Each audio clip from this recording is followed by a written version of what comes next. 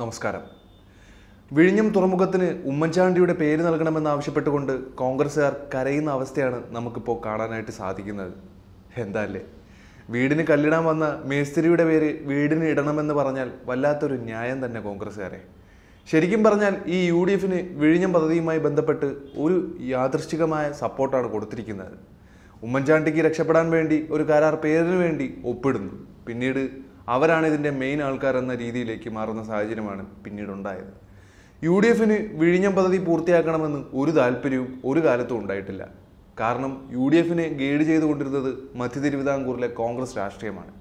ഇവർ എല്ലാ കാലത്തും വിഴിഞ്ഞം തുറമുഖം കൊണ്ട് വരാതിരിക്കാനുള്ള കാര്യങ്ങളാണ് സ്വീകരിച്ചിട്ടുള്ളത്.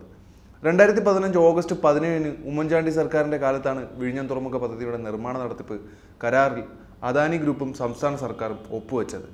എന്നാൽ കരാർ ഒപ്പുവെച്ചതിന് പിറകിൽ അരുവിക്കര ഉപതെരഞ്ഞെടുപ്പ് നിർണായകമായി മാറുകയായിരുന്നു എന്ന് തന്നെ നമുക്ക് പറയേണ്ടി വരും. അതായത് വിഴിഞ്ഞം പദ്ധതി ഇല്ലെങ്കിൽ വോട്ടില്ല എന്ന ക്യാമ്പയിൻ അവർ അവിടെ അങ്ങ് തുടങ്ങി. ഇത് ഉമ്മൻചാണ്ടിക്ക് ഒരു പിടിവള്ളിയായി മാറുകയായിരുന്നു.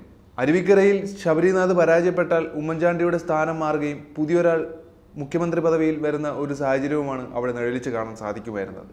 ഇത് അപകടമാണെന്ന് ഉമ്മൻചാണ്ടി മനസ്സിലാക്കുകയും എങ്ങനെയെങ്കിലും വിഴിഞ്ഞം പദ്ധതി ഒപ്പം കൂട്ടിയാൽ മതിയാകുകയുള്ളൂ എന്ന കൊച്ചി ലോബിയുടെ എതിർപ്പിനെ അതിജീവിച്ചുകൊണ്ട് ഉമ്മൻചാണ്ടി ഈ കരാറുമായിട്ട് മുന്നോട്ട് പോകാൻ തീരുമാനിക്കുന്നത് ഉമ്മൻചാണ്ടിയുടെ സ്വന്തം നിലനിൽപ്പിന് വേണ്ടിയായിരുന്നു. അതല്ലാതെ ഒരിക്കലും ഇത് വിഴിഞ്ഞ പദ്ധതിക്ക് വേണ്ടിയുള്ള താല്പര്യമോ നമ്മുടെ കേരളത്തിന്റെ വികസന അഭിവൃദ്ധിക്കോ വേണ്ടിയോ ഒന്നുമല്ല.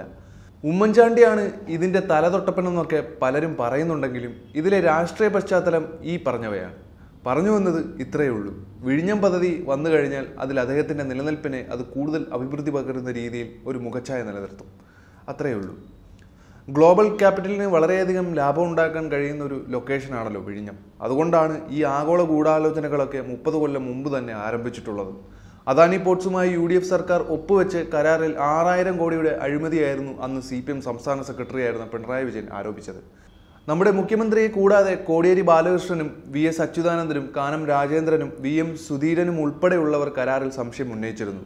എന്നാൽ ഇന്നിപ്പോൾ പദ്ധതി യാഥാർത്ഥ്യമാകുന്നതിൽ ഇടത് സർക്കാർ വഹിച്ച പങ്ക് ഒട്ടും ചെറുതല്ല എന്നുള്ളതാണ് പ്രധാനപ്പെട്ട ഒരു കാര്യം.